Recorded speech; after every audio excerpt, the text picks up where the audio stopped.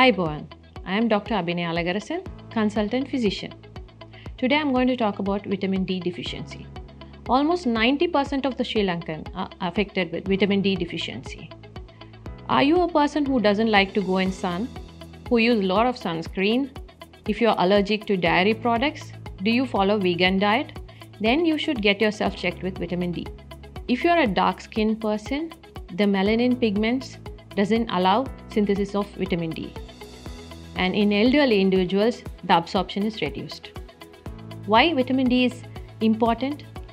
Because it helps in bone formation, muscle contraction, and it also helps to maintain a healthy immune system.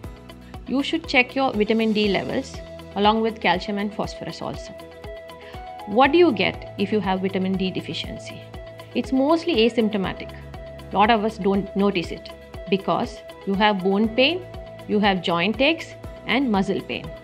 If you have a severe vitamin D deficiency, then you're prone for osteoporosis, which leads to fracture.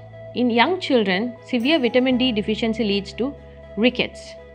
In elderly individuals, it can cause to osteomalacia. Now, other things are your immune system is down, so you're prone for more respiratory illness. How can you treat vitamin D?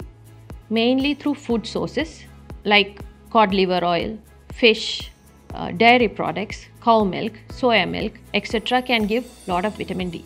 What is the daily requirement of vitamin D? In an adult, it's 600 international units, almost 15 micrograms. Older individuals, almost 800 international units is required, that's almost 20 micrograms. And other things are you can get it as vitamin D supplements. So, get your vitamin D level checked today. If it's low, kindly take the required supplements.